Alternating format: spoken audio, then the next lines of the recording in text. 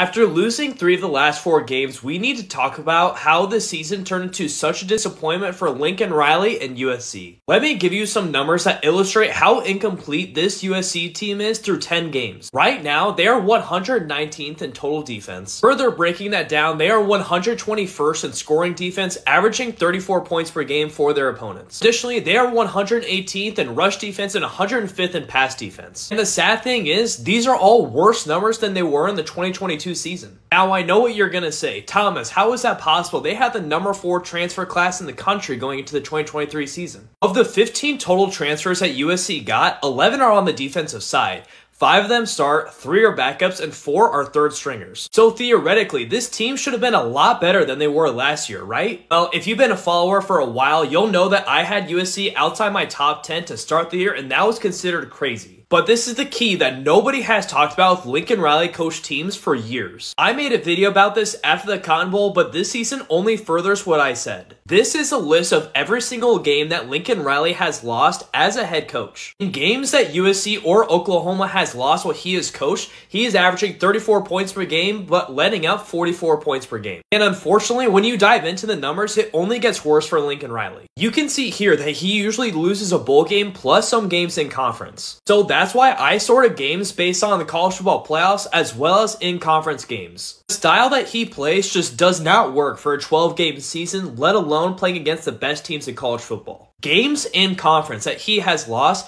he is averaging 33 points per game while giving up 40 points per game and losing by an average of a touchdown. In his three games in the college football playoffs, he is scoring 36 points per game, letting up 54 and losing by an average of 17 or 3 scores. The reason I was not high on USC coming into this year, even in Lincoln Riley's second year, all these transfers coming in, Caleb Williams is his style of play just does not work. You have to have a top 50 defense to be a top 10, let alone top 5 team in this league. And if you don't, you can expect at least two or three losses every single year. The great thing about college football is you can have all the pros in the world, but if you do not play a complementary style of football, you will not win at all. Now, I know this was a long video, but if you have any questions or anything you want me to go over, make sure to put it in the comments and I will respond to it.